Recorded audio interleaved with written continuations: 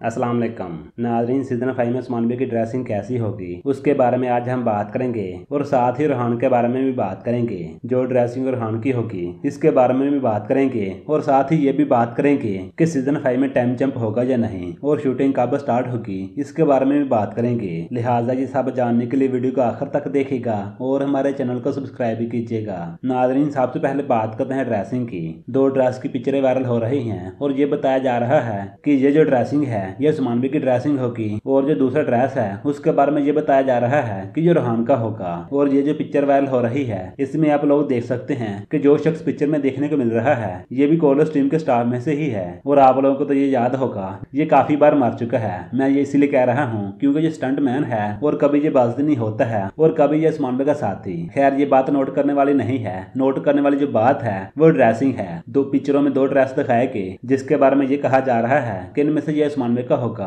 और ये रूहान का होगा। लेकिन आदरीन, मुझे ऐसा लगता है कि ये ड्रेस रूहान का तो हो सकता है, लेकिन जो दूसरा ड्रेस है, वो उस्मानवे का नहीं हो सकता, क्योंकि उस ड्रेस में बहुत कमी है और वैसे भी वो सादा ड्रेस लग रहा है। इस वजह से मुझे लगता है कि ये उस्मानवे का नहीं होगा, बल्कि किसी और शख्स का होगा। अलबत्त कुछ भी हो सकता है। हो सकता है कि इसके साथ और भी लिबास हो, या फिर इसको चेंज किया जाए। ऐसा कुछ भी हो सकता है, या फिर ऐसा भी हो सकता है कि ये ड्रेस उस्मानवे का ही हो। आप लोगों को ये तो पता है कि सीज़न फाइव में उस्मानवे के तीन से चार ड्रेस होंगे। उनमें से कोई एक ये हो सकता है। वैसे इन सब के बारे में आपकी क्या राय है? आप लोगों की जो भी राय हो, आप लोग अपनी राय लाजमी दीजिएगा। अगर बात करें टाइम जंप की टाइम जंप के बारे में काफ़ी लोग यही जानना चाहते हैं कि होगा या नहीं। जो सीरीज़ के हालात सीज़न फाइव में दिखाए जाएँगे, उससे तो यही ज़ाहिर होता है कि टाइम जंप नहीं होगा। इसके पीछे की सबसे बड़ी वजह तो यही है कि दिम्बोस की जंग दिखाई जाएगी। जो दिम्बोस की जंग थी, अगर वो सीज़न फाइव के स्टार्ट में दिखाई जाती है तो फिर ये भी हो सकता है कि जंग के बाद टाइम जंप हो। लेकिन ऐसा भी हो सकता है कि जो अदाकार साइन किया गया है, उसको ही जंग दिखा दिया जाए। यानी टाइम जंप ही ना हो, सिर्फ़ अदाकार चेंज किया जाए और जंग दिखा दिया जाए। लेकिन ऐसा करना भी मुश्किल है। अलबत्ता दो से तीन साल का तो टाइम जंप होगा ही होगा। वैसे इसके बारे में भी आपकी क्या राय है, आप लोग अपनी राय लाजमी दीजिएगा। अगर बात करें शूटिंग की, ग्यारह सितंबर को शूटिंग स्टार्ट होगी। ऐसी खबर आ रही है। वैसे इन साहब के बारे में आपकी क्या राय है? आप लोगों की जो भी राय हो, आप लोग अपनी राय लाजमी दीजिएगा।